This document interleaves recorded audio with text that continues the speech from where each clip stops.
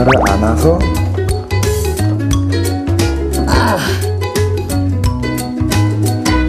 좋네 좋아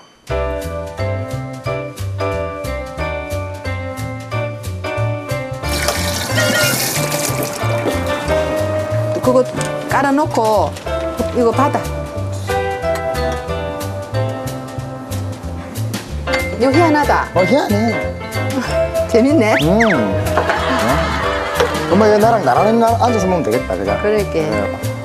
신기하다 엄마 이래 앉아갖고 어제까지 중국에서 막 이래 막 경연하고 있었는데 이제 엄마랑 또 뭐 밥 먹고 있으니까 또 아니, 저 무엇이. 무엇이, 야, 야, 야채도 와. 사놓고, 사놨네, 사놓긴. 우와 엄마 엄마 응 응. 이 거봐. 손을 또 끌어 음, 맛있다. 진짜 맛있는데?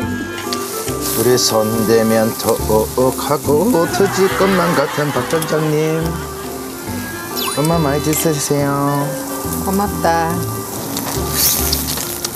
너 얼굴이 살이 좀 빠지는가 봐 응. 옛날보다 얼굴이 막 이렇게 좀 얼굴이 형편이 없다, 지금, 니가.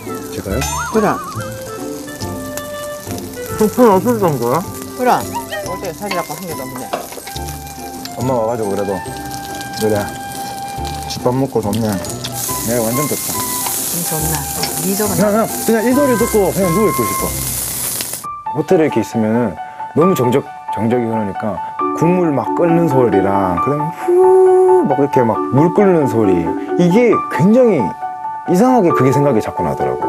제가 고기를 굽고 어머니가 이제 좀 누리실 그럴 때라고 생각을 하는데 내가 할게, 내가 할게 하다가 그냥 엄- 그게 좋아서 그냥 그 모, 엄마가 해주는 모습 그대로 그냥 네. 보고 싶어서 그런 모습들이 행복했습니다. 심프, 심프, 헌신.